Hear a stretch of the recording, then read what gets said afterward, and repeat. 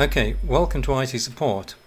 Um, we've got a stack of Samsung Chrome boxes here and many other devices that in the next 12 months are going to be hitting their end of life and end of support as far as Google is concerned. So um, you'll see that they present with this little thing saying this device will no longer receive the latest software updates and uh, we're going to do something about that. So this Samsung Chromebox here, which I'm going to rename CR box 003, I've shorted this jumper out here on the motherboard and that unlocks the BIOS. This device is currently enrolled on our domain. So what I'm going to do is first of all transition it into developer mode.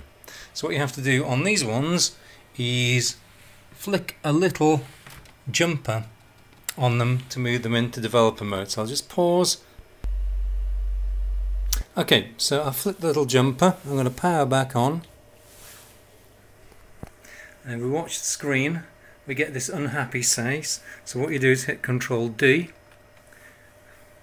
Now I would point out that if you've got a device that's got force re-enrollment um, enabled, then you'll need to put it into an OU where that's not enabled for the time being because otherwise you won't be able to transition into developer mode.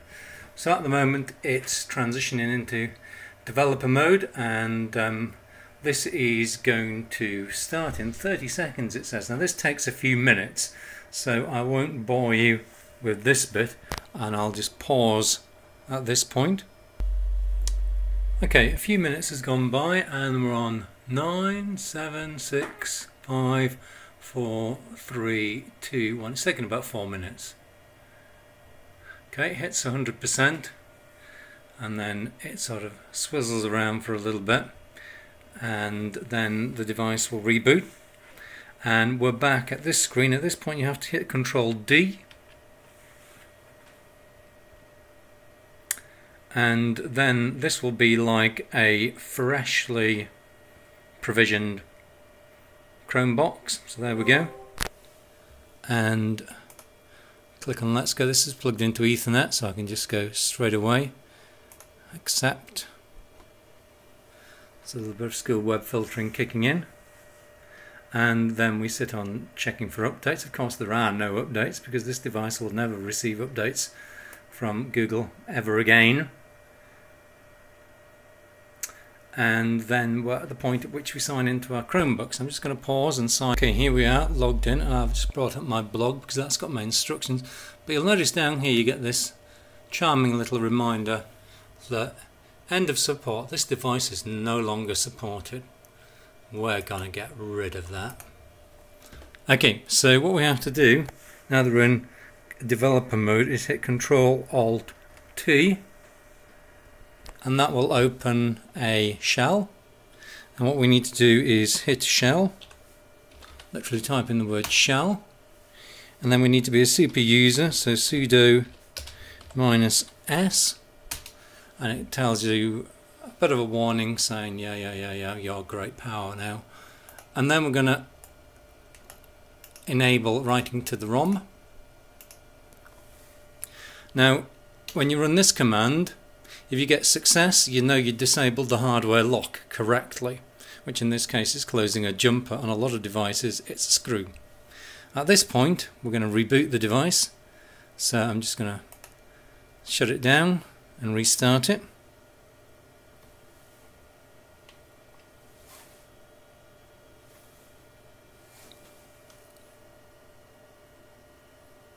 And every time you open developer mode you'll get this unhappy face. I hit Control D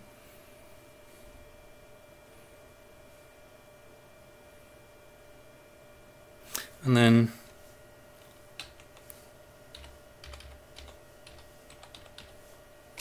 we'll sign in. Okay, and we're still being told it's no longer supported. I don't care. Shell again sudo minus s. And at this point we're going to install a custom ROM which is going to nuke Chrome OS so I'm going to copy that. This is called the John Lewis BIOS but there is another one that I've got here that you can give a go as well. I haven't tried that one yet but it seems to have more options. So you run this script and it tells you to donate to the project. Hit enter. It gives you various options. What we're going to do is flash a full ROM to my Chromebook, in this case a Chrome box. So number two. And then it says success. And it says input required about to flash your Stumpy's boot stub slot. Repeat, if this bricks my Stumpy, on my head be it. Okay, and I've got to type that in. So I'm just going to. So I've literally typed that in word for word. Then we hit enter. And then it's writing the BIOS. This takes a couple of minutes. You think, oh, it's dead. But actually, it takes a couple of minutes. I'll just pause while it does this. Oh, there we go. It's done. So it says success. Now, this point, Chrome OS has gone from the uh, hard disk and as has the regular boot. So if I shut this down, what I've got plugged into the USB port is a cloud ready boot disk and what you have to do on boot is hold escape down I found and hammer the 2 key because escape is boot option 2 is boot from the flash drive the hard drive's got nothing on it so there won't be anything to boot from so we're going to see whether we can do that. So I'm going to shut it down.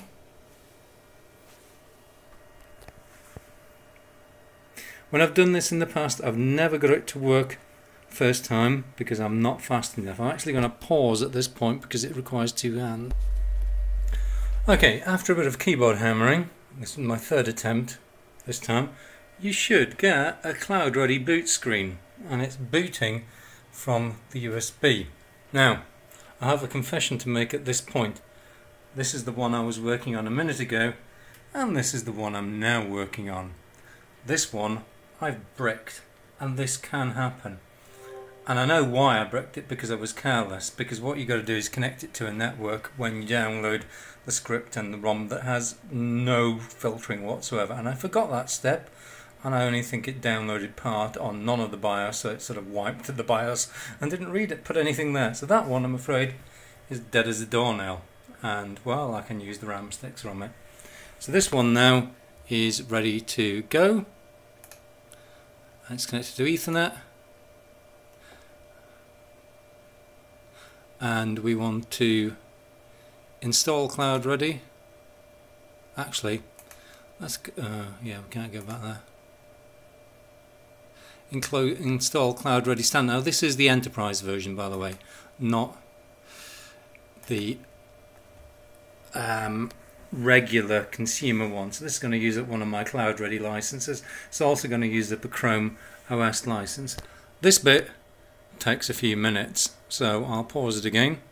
Okay, so this one's just finished installing and it's rebooting into Cloud Ready now. I've taken the um, memory stick out.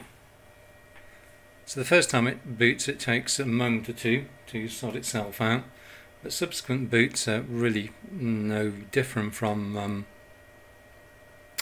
uh, regular Chrome OS.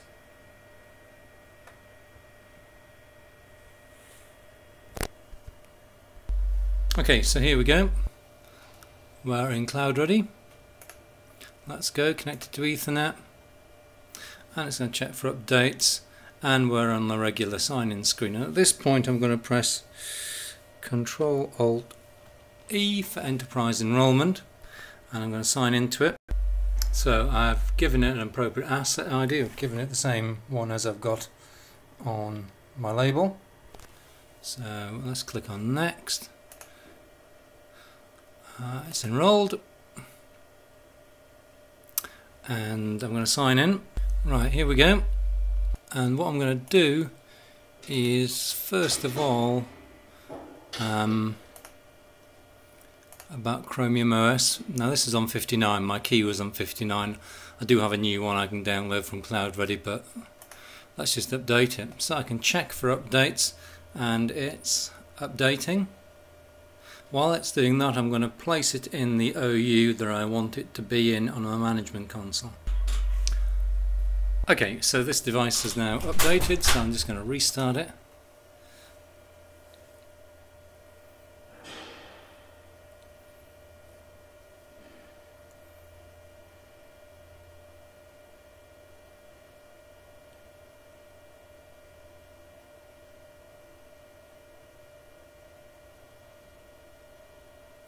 And this one is currently set not to show uh, login pictures and to wipe local user data because this is going to sit in a room where people log off and log on to it. It's in a sort of a library situation, this particular Chromebox.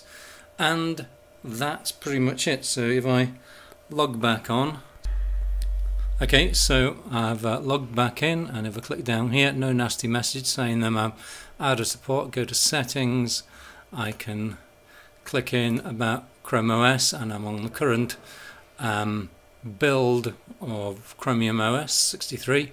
Okay, 65 is the current stable if you were on uh, the uh, non-zapped version, but this will carry on updating well beyond what Google said it should update to.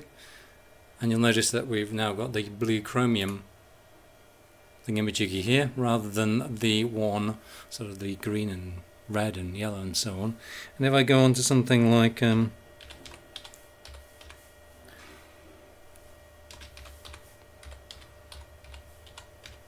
Octane, okay, force sign in from Securly, kicking in there.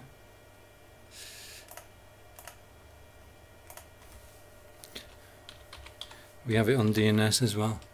Yeah, there we go. Uh, this is out of date now, but I mean, it just is quite useful for a quick run. Close that, close that, start Octane.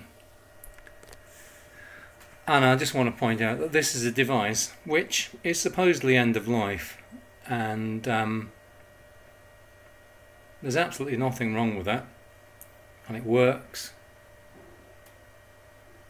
And if you know anything about octane scores, you'll think, hmm, that's better than my Chromebook in most situations, unless you've got a Pixel or one of the higher end models.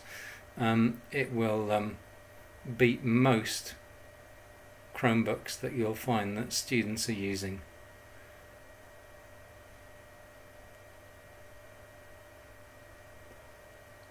Should be finished in a second or two. Okay, so I've just got over 14,000 on Octane there typical Chromebooks that we've got in student hands, nine to ten thousand at the moment.